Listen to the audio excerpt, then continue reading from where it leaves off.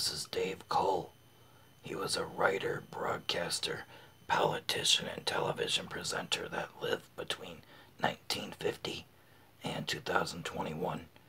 He served as the mayor of Dunedin, New Zealand.